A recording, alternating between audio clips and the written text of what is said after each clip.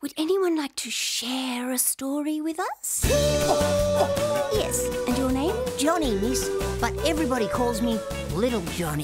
This is the story of a boy who became a legend. I had a stuttering cat. I was playing with him the other day and a huge dog jumped the front fence and attacked us. It's about growing up, his quest to win the heart of a girl. Then we'll have a little fun. My cat raised his back and went. And before he could say fuck, the dog ate it. Everything all right, mate? It's about his family.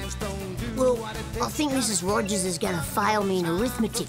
Yesterday she asked me how much is two times three, and I said six. But then she asked me how much is three times two.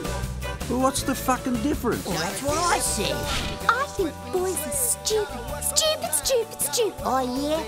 Well, at least I've got one of these. You haven't. Mum says that with one of these, I can get as many of those as I like. Johnny, Auntie, what's that?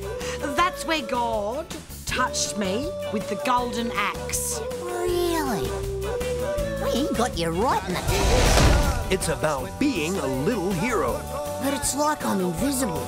She doesn't even know who I am. And that's why you want to win the race? I have to win the race. In the breakneck, downhill race of a lifetime. Faster! Put some bloody effort into it! On the stereo. Daddy, take your mama to the picture show. You've heard the jokes.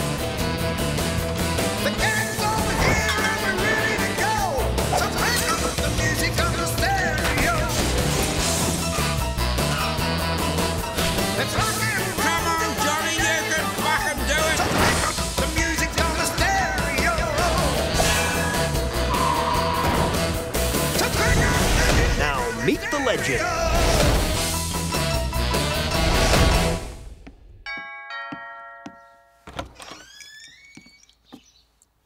Hi there, Sonny.